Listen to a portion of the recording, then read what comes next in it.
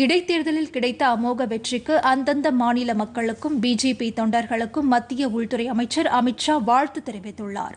பதினோரு மாநிலங்களில் ஐம்பத்து ஒன்பது தொகுதிகளுக்கு நடைபெற்ற இடைத்தேர்தலில் பிஜேபி நாற்பது இடங்களை கைப்பற்றியது. குறிப்பாக பிஜேபி ஆளும் மாநிலங்களான குஜராத் கர்நாடகா மணிப்பூர் உத்தரப்பிரதேசம் மத்திய பிரதேசம் ஆகிய மாநிலங்களில் பிரதமர் நரேந்திர மோடி தலைமைக்கு மக்கள் அங்கீகாரம் அளித்துள்ளதாக அமித்ஷா குறிப்பிட்டுள்ளார்.